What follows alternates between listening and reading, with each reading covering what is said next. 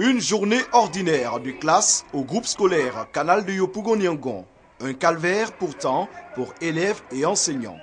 La clôture basse de l'établissement, régulièrement escaladée par certains élèves, est à la base de nombreux dégâts, notamment des accidents de la circulation. La clôture est très très très basse. Les enfants enjambent cette clôture et vont jouer au dehors. Nous voudrions que cette clôture-là soit élevée afin que les enfants soient en sécurité dans l'établissement. Toujours au groupe scolaire Canal du Nyangon, les toitures des salles de classe sont perforées et les portes endommagées. L'école sert pratiquement d'hôtel. D'hôtel parce que les jeunes gens du quartier vont, viennent se retrouver avec leurs copines dans l'établissement. Et souvent, on rencontre le matin dans les classes des objets pas possibles. Nous sommes souvent victimes de vols.